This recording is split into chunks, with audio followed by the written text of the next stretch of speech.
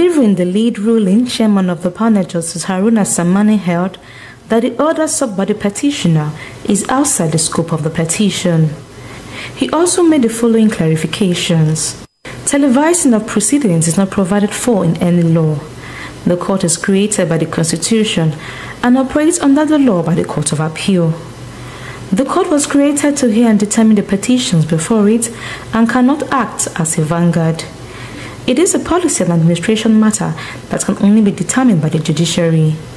The undue pressure of allowing cameras into the courtroom should be avoided as the impact it will have on witnesses cannot be predicted. The court is created to find out the truth and should be allowed to do so. Our application, i.e., the live streaming and open telecast, is not in any way connected with the merits of our petition. The petition is separate, it's ongoing.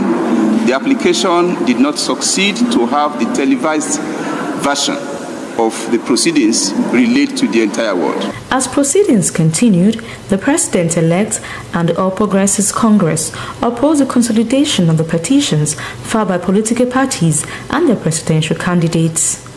Counsel to both parties noted that justice would not be served on the petition. Although Section 50 of the Electoral Act allows for consolidation, however, when the exercise of power is subject to a limitation, it cannot be said to be mandatory. Both counsels agreed that some issues will be lost in the case and the respondent will not be allowed to pass his case.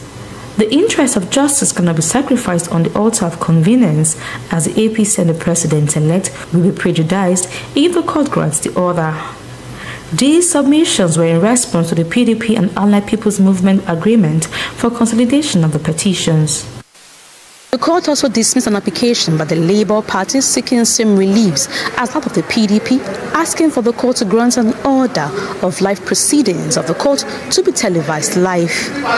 The Labour Party anchored the application on the fact that during the outbreak of the COVID-19 pandemic, various courts in the country televised proceedings live.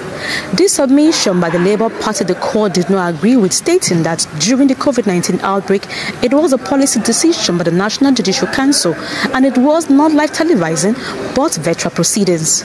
Well, they've given their reasons. The court says it's a policy matter. We are not part of the policy making apparatus of the court or any court for that matter. We are a council and our duty is to bring whatever requests we have to the court.